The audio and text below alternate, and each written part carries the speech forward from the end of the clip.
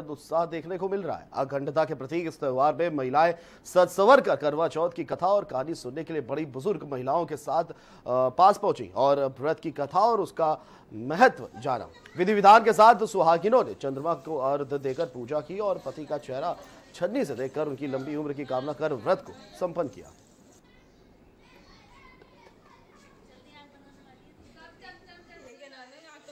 जो है, ये अपने पति की लंबी उम्र के लिए कहानी होती है और ये करवा चौथ का व्रत भी अपने पति की लंबी उम्र के लिए, दीर्घायु के लिए रखा जाता है और हम सब मिलके औरतों ने आज ये व्रत रखा, कहानी सुनी यहाँ पे और अब हम शाम को ये उपवास खोलेंगे। तैयारियाँ तो सही बात है, बहुत ज़ोर शोर से होती है, कई दिन पहले से ही हम लोग तैयारियाँ करते हैं नए नए कपड़े लाते हैं, सुहाग का सामान लाते हैं और व्रत रखते हैं, निर्जल व्रत रखते हैं काफ़ी लोग इसे। वैसे ज़्यादातर निर्जल ही रखा जाता है, पर जो लोग नहीं रखते हैं, वो लोग चाय पानी भी पी लेते हैं। कथा सुनने के बाद को चंद्रमा को अर्ध देकर उनकी पूजा करके, उसके बाद हम पानी और खाना ग्रहण करते और जसपुर में करवा